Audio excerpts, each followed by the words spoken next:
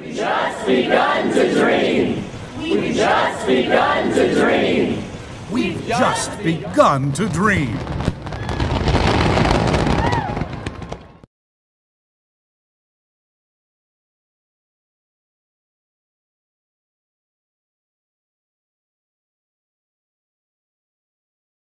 In January, I had at the time was the pleasure to meet Brad Rex, who was the vice president of Epcot, and very nice man. Enjoyed speaking with him, but but the one disappointing thing in my interview with him was the fact that he told me that there would not be any public celebration for Epcot's 25th anniversary, and that the only things going on were going to be behind the scenes for cast members.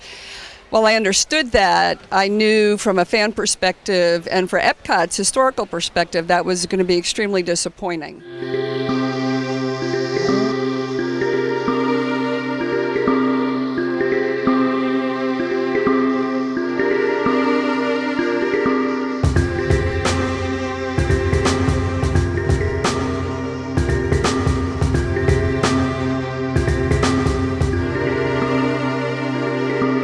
We're here because we love Epcot Center, and Epcot Center is celebrating its 25th anniversary, and we decided to have a nice little get together to celebrate its 25th anniversary. So I thought, well, it'd be nice if we got a bunch of people together to celebrate. So here we all are. I am here as a co founder and uh, staff member of Celebration 25. We're here today on Sunday, September 30th, leading into October 1st tomorrow. Uh, we're here at the sign in tables and we're having a great time meeting everyone. I'm here today with Celebration 25 as one of the organizers because I love Epcot. And I, I really grew up with Epcot. Epcot opened when I was seven, and so it's the first park that I remember being to quite a bit, and I loved it. It was my favorite park. I think I loved most of the rides. I loved the music the most, I think. And so being here for the 25th anniversary of Epcot, is very special to me, and I'm glad to be a part of the Celebration 25 committee. Uh, I'm glad to be helping out here this morning, and I'm most excited just to be here today. Hey, uh, this is Jeff Pepper. I'm from 2719hyperion.com, and I'm here celebrating the 25th anniversary of Epcot Center. I visited here 25 years ago, right before it opened, and I'm back. I really love Epcot. It's one of my favorite places to be in Walt Disney World. It represents a great deal to me and just to the Walt Disney Company at large, and we're really happy to be here to celebrate. Hi, this is Lou Mongello. I'm the author of the Walt Disney World Trivia Books. I'm also the host of the WDW radio show, and I'm really excited to be part of Celebration 25 and to be a part of the Epcot rededication ceremony. I think Epcot is such an important park for so many reasons, not just because it was the first park built after the Magic Kingdoms, but because it still seems to carry on even 25 years later Walt's original vision of working together as a community to build a better tomorrow and what the promise of tomorrow means for all of us as a united people. And while this might, may not have been Walt's original vision, I still think it carries on his dream to a certain degree. And uh, the 25th anniversary really is an exciting event that I'm just happy to be here for. This is Julie Saunders. I'm so happy to be here. Epcot means a lot to me. I actually visited down here on in May of 82 when Epcot was being built.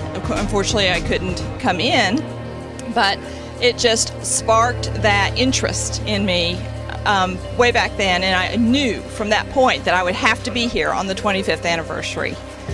I'm especially delighted to be here with this group of fans from Celebration 25 who have put so much passion into organizing this event and making sure that we all come together to celebrate this wonderful park that celebrates communication, creativity, and innovation.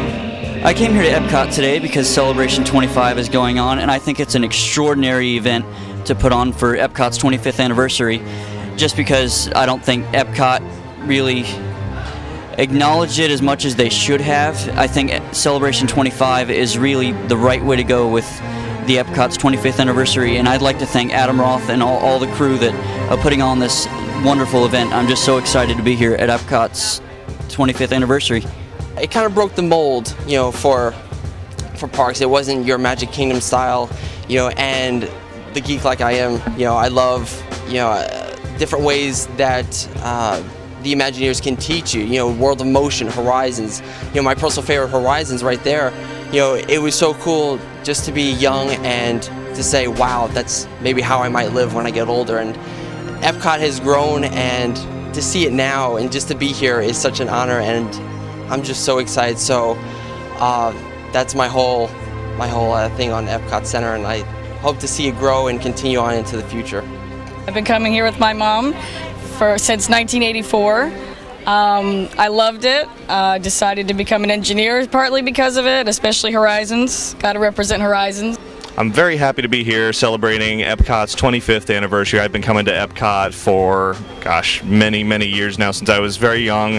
Um, I'm just old enough to be uh, be around since Epcot was open, and I wish I had been here on opening day, but it's great to be here for the 25th. I have a lot of fond memories of attractions that aren't here anymore, unfortunately, Horizons especially, but I am looking forward to many, many years to come of a lot of great edutainment to come out of Epcot, and let's hope for the best for the future. I'm here today because the park is great. It's the continuation of decades of dreams. You look back at the 1939 World's Fair, you had a big, huge ball, the Trylon and the Perisphere that people went in. You go into the 1964 World's Fair, you had the Unisphere. Now you go into 1982, the World's Fair for the next generation, and Epcot, Spaceship Earth, gorgeous place and just a neat place, a celebration of the world and its people. I really enjoy it and always have fun here. This is Jamie and Molly and Kylie and Jack, and I'm Chris, and we're from Port Orange, Florida. And uh, we're happy to be here today. We're happy to be here to celebrate Epcot's 25th anniversary. Um, I was here 25 years ago, and my wife and I honeymooned here. We're a Disney family. Uh, I wrote my PhD on Disney theme parks, so this is a celebration for us in many ways. We're excited about the past, we're celebrating the past, we're also celebrating the future and what comes next, both for us and for Epcot.